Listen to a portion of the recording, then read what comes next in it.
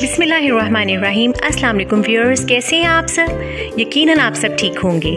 जी viewers, आज मैं आपके लिए लेकर आई हूँ कंडेंस मिल्क वो भी हम देखते हैं कि घर में कैसे बनाते हैं और बहुत ही आसान तरीका है घर में कंडेंस मिल्क बनाने का। चलिए आए शुरू करते हैं। सबसे पहले आपने एक पैन फ्लेम पे रखना है, फिर उसके बाद आपने दो कप दूध के उसमें डालने हैं। दूध जो है वो रॉ हो, कच्चा हो बॉईल किया हुआ ना हो फुल क्रीम मिल्क होना चाहिए। दो कप दूध के डालने के बाद इसमें हमने एक कप चीनी का ऐड करना है।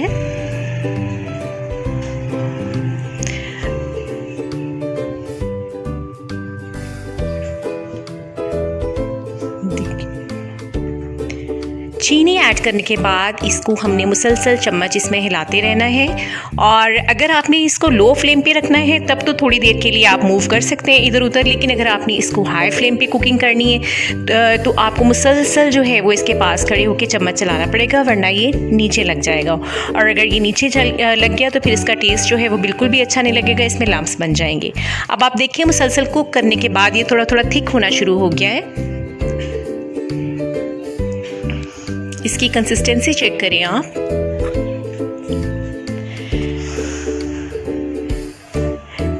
कंडेंस मिल्क बनाने के लिए कम से कम जो है वो 40 से 45 मिनट लग जाते हैं आपको थोड़ा हाई फ्लेम पे। ये देखिए मुसलसल स्टर करने के बाद, हिलाने के बाद और कुक करने के बाद ये थिक हो चुका है और हमें इतना ही थिक रखना है और अगर हम ज़्यादा थिक कर लेंगे तो ये बिल्कुल जम जाएगा। Thanks for watching and don't forget to like share and subscribe my channel. And press bell icon